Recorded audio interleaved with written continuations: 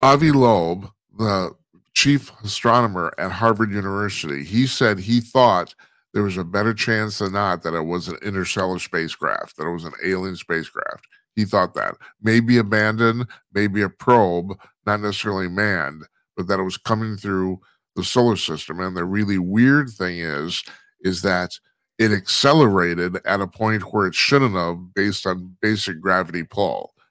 And there's been several people, uh, theories for that is that um, it was uh, a solar solar wind, which is a real thing.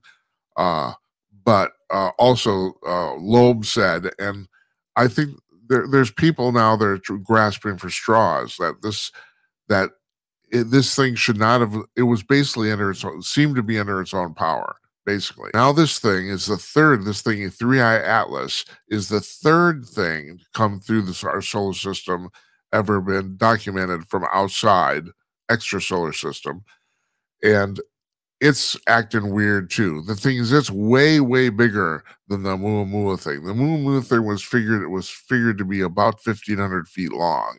It was like it was not that big. Uh, this thing is apparently several miles in diameter, and everyone and the assumption seems to be that it's an interstellar comet.